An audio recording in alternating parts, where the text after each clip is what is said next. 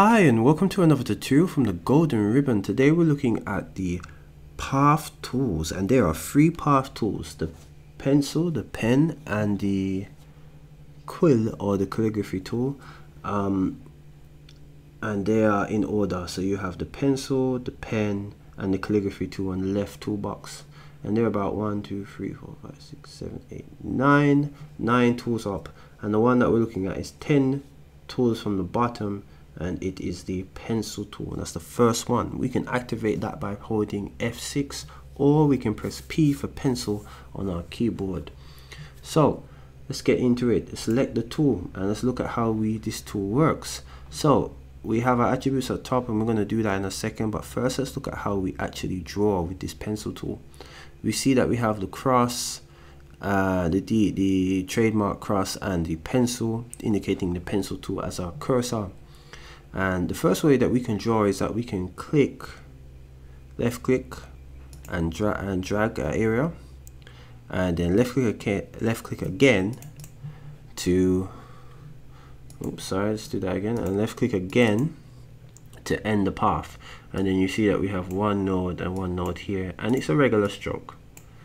So the next way we can do this is that we can extend this by instead of clicking once we're going to double click. So we're going to left click here and double click and then we get another extendable path. We can double click again and get another extendable path. Double click again double click again double click and it curves each path as it's moving it. And we just click once to stop it. And therefore we have our path here. So we've created a bit more of a complex path right here with our double clicks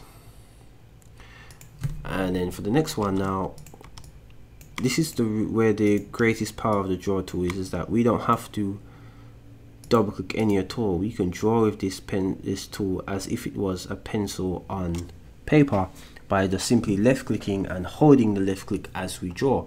So in this one we just left left clicked once dragged out left click again. In this one we left clicked and double clicked to create each corner. And in this last one we're just going to hold the left click and draw out. So let's hold the left click and draw out and we are drawing out. And if you hold this left click you can pretty much draw to your heart's content. And this is where the power of the draw tool is for the majority. It's the fact that you can draw these things as if you were drawing on a canvas or drawing on a piece of paper. Good.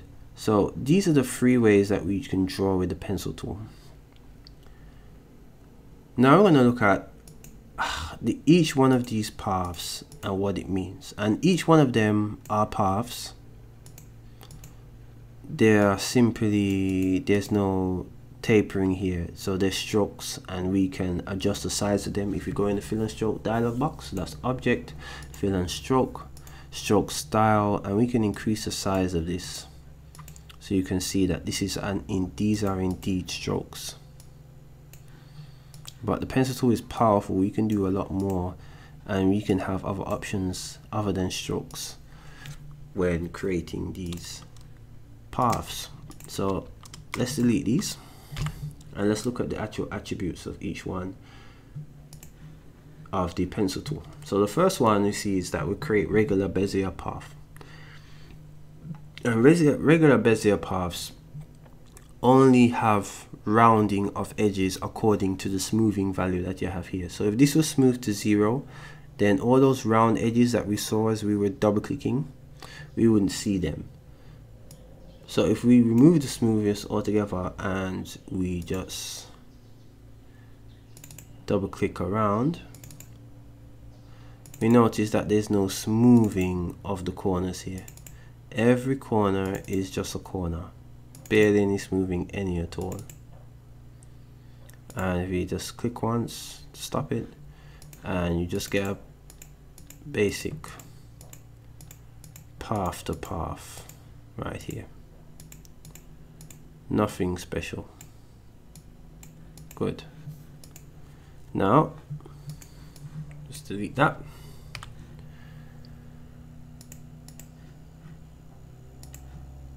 So this is the most free use mode of the pencil tool, the regular Bezier path. Now I'm going to move on to the spiral path. And spiral is where Inkscape imports these mathematical calculations to make the curves that you, the curves of the final path, the most perfect and smooth curves as possible. So if I am creating something like this, which has curves but it's jaggedy and all over the place, Spiral is going to correct this line, this green line right here, and it's going to add its mathematical calculations to make every curve as perfect as possible. So what was our drawing now has turned into this very smooth, curvy path. And if we activate the node tool here, because when using the paths tool, you're going to be using the node tool quite a bit. So you can press F2 for that.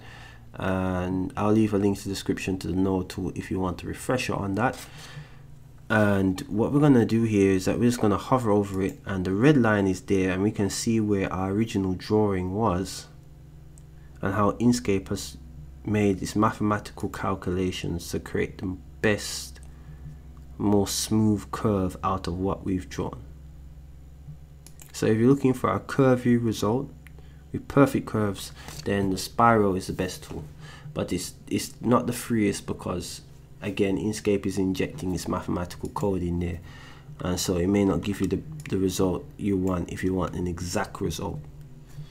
Okay so the next one we're going to be looking at with the pencil tool and the last one the last mode is the B-spline path and the B-spline path I think is what Illust Adobe Illustrator uses and other vector tools use it too and this is just another way of drawing curves via Bezier tools.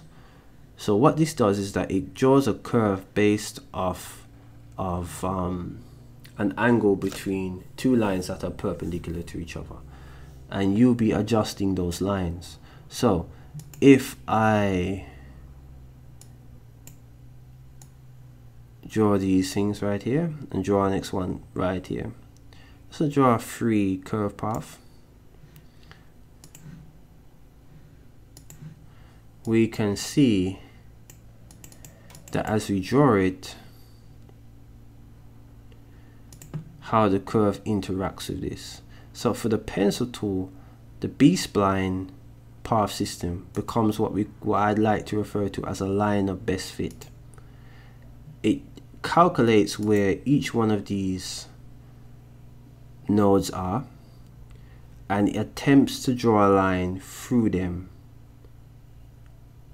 As curved as with, with with curves and smoothing that works through the nodes to get a line of best fit. Similar to how you would have a graph of, of points and you draw the line of best fit through those graphs through that through those points the B-spline works like this also and draws a line of best fit but it's just a different calculation method for getting a smooth curve through the nodes that you produce the only thing is that it's not as curvy as the spiral tool and it is not as free as the basic Bezier tool.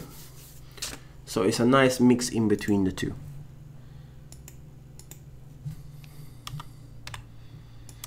So there we have it and let's just have one with the regular Bezier tool just for the sake of having it and the smoothing.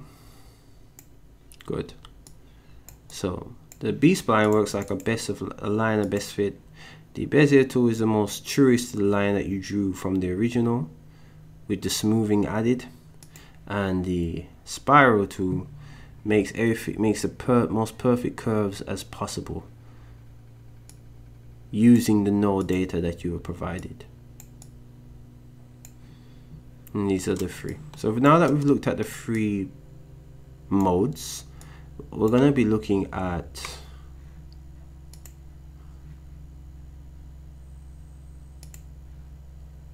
the the other attributes available and also this is something for you to look at too you notice that as we move it they change and you have to remember that these are paths they're calculated in real time.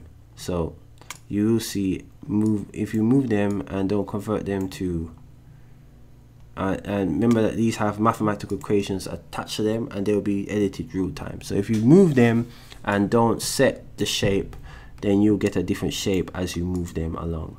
And that's something that you need to keep in mind.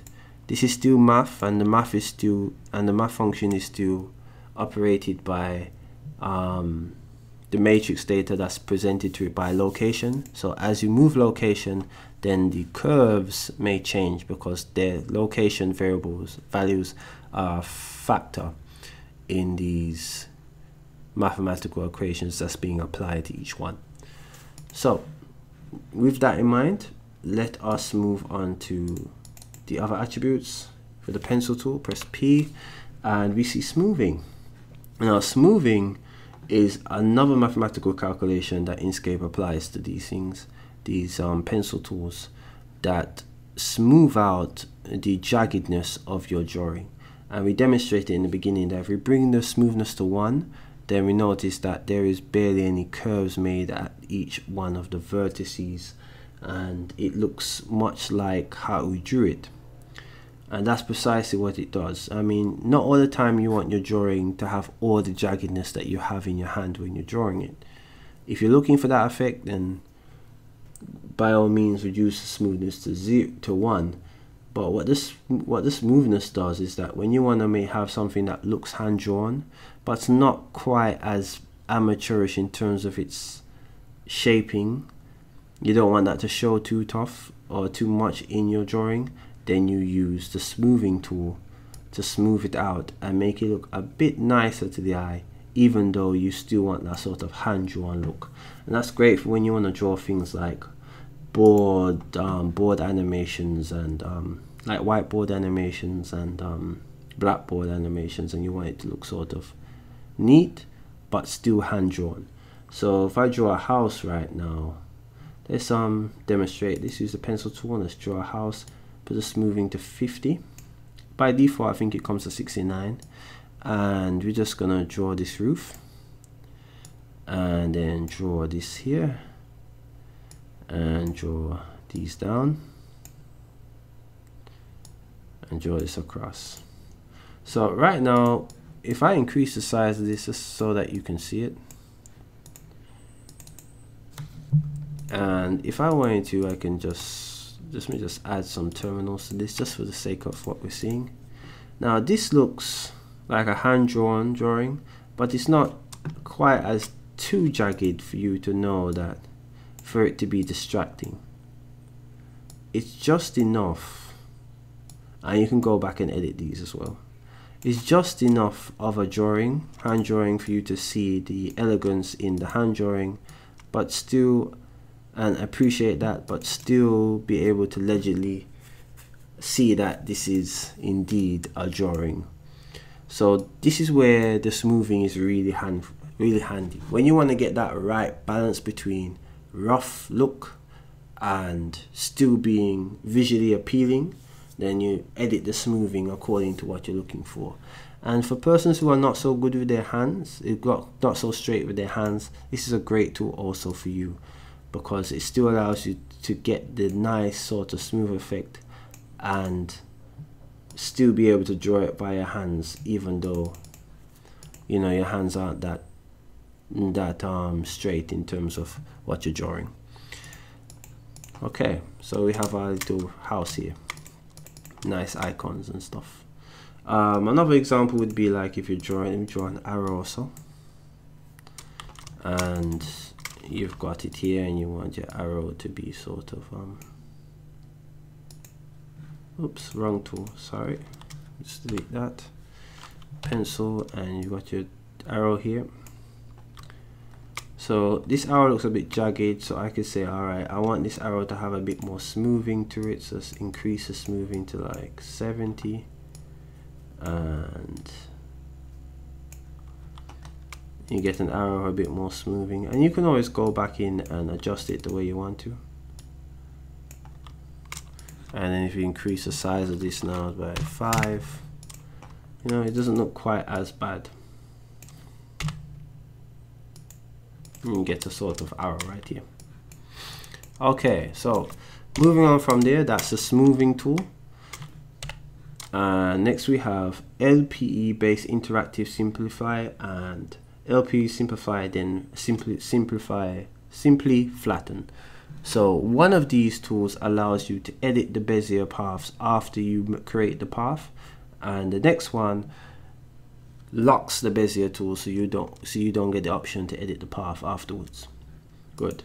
Next we have these tools here and we have the triangle in triangle out ellipse from clipboard bend from clipboard and last applied so last applied let's working from our, from the top up is when you have the last applied of these as the element that they're going to use to curve. And for us the last applied was just none. So it's applying the none to this. So right now default is a stroke. Triangle in. If we get our triangle right now Uh, I'm just gonna create a quick triangle right here. Let's just create a quick triangle. Straighten these lines good. So we have our triangle here. So triangle in is basically and triangle out is basically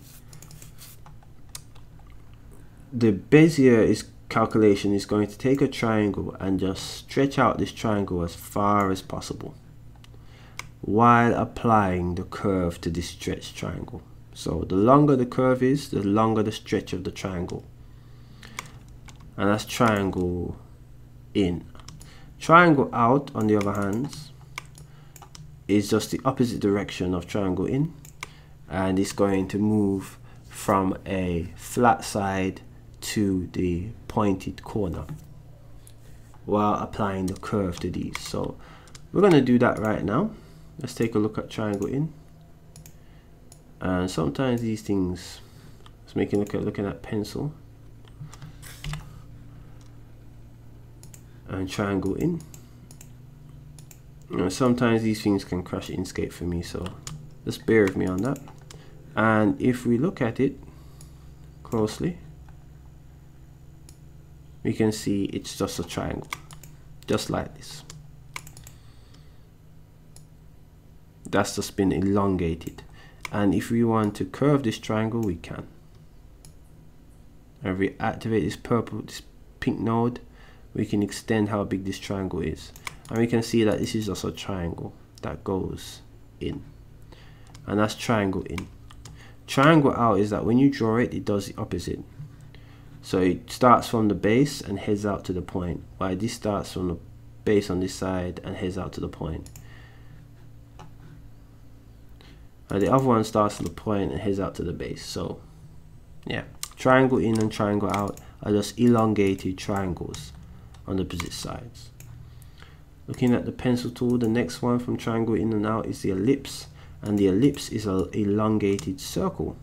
So the ellipse is a circle stretched out really, really thin. So the longer it is, the more stretched out the ellipse. So if we do that right now, let's look at the ellipse and stretch out. Good. If we look at this and use a circle tool and pull it out, we can see that this is just a circle stretched out really really long so the triangle in is a triangle stretched in triangle out is a triangle stretched out applied to the curve and the ellipse is a circle that's stretched out that you can curve along the way good.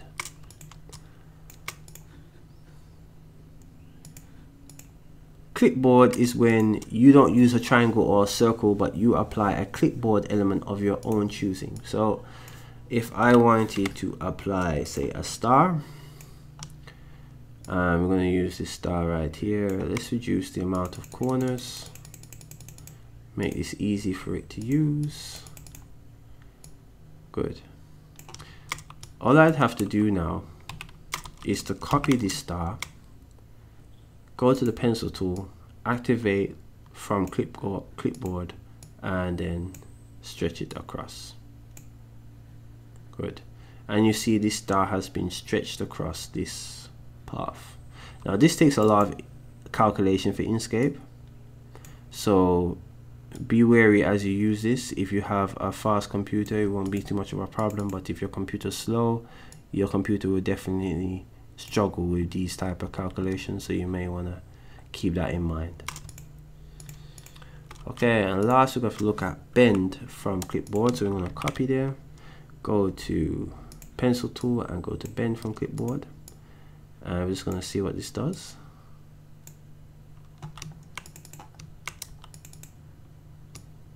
okay it looks like bending from clipboard gives us far more flexibility with the way the star bends along the line. So those are the three options right there that you have in terms of how you can create a shape with the pencil tool these options trans these options go across all bezier tools but we'll take a look at them again in the other bezier tool in the other path tools. But this is the pencil tool complete if you enjoyed this tutorial. Give it a thumbs up. If you have any questions be sure to ask them in the comment section you can also ask me on my website if you wish but until I see you again get up and design a new door. Later.